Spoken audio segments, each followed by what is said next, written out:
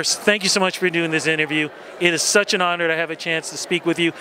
I have to ask you before we talk about Canada's Walk of Fame, how does it feel about the legacy that your family has been able to achieve, has left, has presented as it goes on into the future? How does it feel knowing that that legacy has helped so many people, not just in the U.S., not just in Canada, but around the world?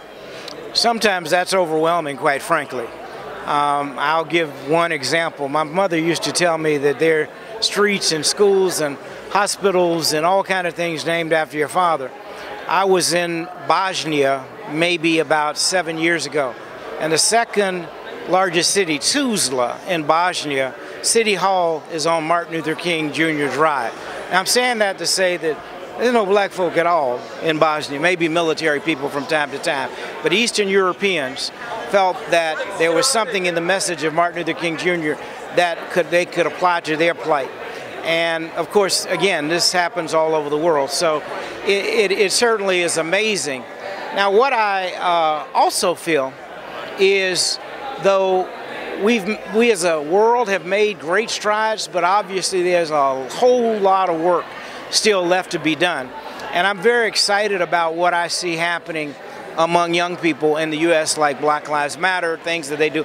Colin Kaepernick is an incredible hero uh, to me personally, uh, and it's very sad that people don't understand the respect that he's still showing to the flag because he could you know, if you just be sitting down, but you're taking a knee. A knee is generally something of honor. You're taking a place you when when people get hurt, everybody goes down to a knee. So how is it now that when it relates to the United States flag, when you take a knee, you're being disrespectful when you've already stated, no, I'm focusing on the fact that African American men are being killed like dogs every day, and I want to acknowledge that so that somebody, so that change will occur.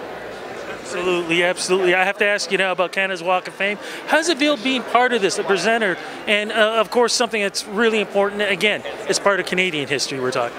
You know, this is incredibly important, and I am really, really um, humbled and honored to have been invited by Jeffrey Latimer. Uh, when I uh, began talking, and he shared with me about uh, Viola Desmond. In fact, I was slated to be somewhere else. But once he told me what was happening, the walk of what the Walk of Fame is doing, and the fact that she's going to be on the $10 bill, and the fact that she protested in 1946, nine years before Rosa Parks, I was like, oh, there are, there are parallels here. There, there, you, you, know, there, there, there are parallels for, for people who stand up for injustice. Um, you know, because some people would say, well, Miss Parks, for example, there are some who would say, well, she just happened to be sitting down on that day. No, it was a, a, a, a, a definite decision that was made um, that dramatically changed her life, but more importantly, opened doors for masses of people. Uh, because in Montgomery, 381 days, black folk didn't ride buses. That was huge. Um, here in Canada, I think one of the things that's going to happen is because Ms. Desmond will be on the $10 bill, young children will be able to aspire to say, you know, I want to know more about what who this person was and what her, she did in terms of the history of our, our nation. And it's just phenomenal that she's the first woman who happens to be black.